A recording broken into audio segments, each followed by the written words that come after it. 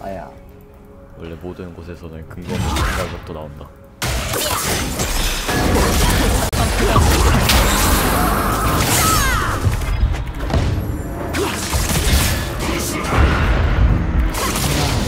야 됐다 유튜브가 뽑혔냐 유튜브가 이다.